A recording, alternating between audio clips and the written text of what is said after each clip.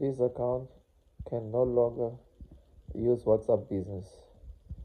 You have to click here and write explain why this happening and it will solve after 24 hours. So it's very easy. Please don't forget to subscribe and hit like. Thank you guys. It's very it's just right that it's a mistake that uh, you someone tried to hack your account explain everything then submit. After 24 hours it will be okay. Now it's okay. We can see it's solved. Thank you guys for this. Thank you